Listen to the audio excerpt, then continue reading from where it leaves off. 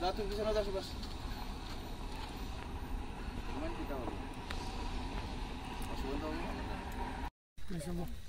একদম রাখ।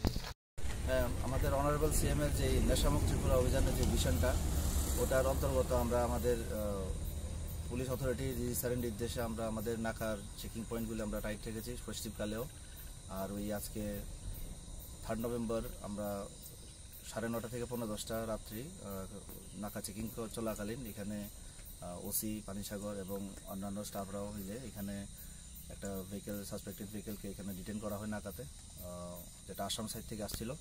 ওটা চেকিং করার পর এটার গাড়ির ডোরের ভিতরে, দরজার ভিতরে কনসিল করা ছিল সাসপেক্টেড ইয়াবা ট্যাবলেট কন্ট্রাভেন আইটেমস যেগুলি আমরা কাউন্ট করেছি সব legal formalities in presence of independent witnesses and government employee ওটা আমরা কাউন্টিং করার পর এখানে ছোট পরিমাণের প্যাকেট যেগুলি ভেতরে ইয়াবা আছে, ওগুলি আমরা কাউন্ট করেছি সাড়ে সাতশো প্যাকেট হয়েছে, যার ভিতরে টোটাল দেড় লাখ থাউজেন্ড ট্যাবলেটস রিকভার হয়েছে এবং এটি এইগুলি ব্ল্যাক মার্কেট ইন্টারন্যাশনাল মার্কেট এগুলির দাম তিনশো three point seven five crore আর আমরা এইটার কারবারির জন্য আমরা একটা স্পেসিফিক এনডিপিএস কেস পানিসাগর পিএসে আমরা রেজিস্টার করছি।